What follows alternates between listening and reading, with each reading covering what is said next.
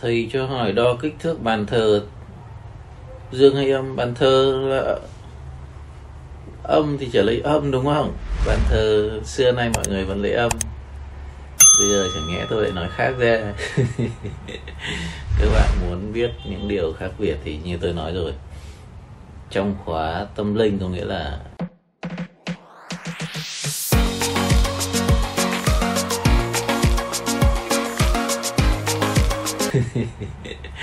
các bạn muốn biết những điều khác biệt thì như tôi nói rồi.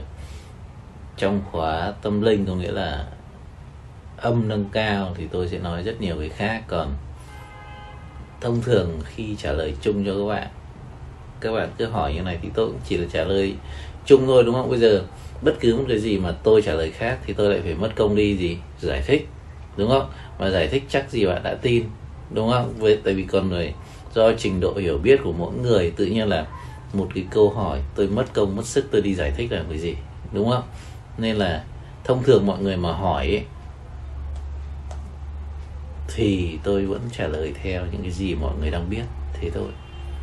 Bây giờ uh, trả lời khác đi. Ai mất công mất việc đi giải thích?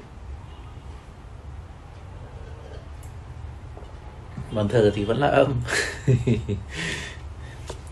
Thank you.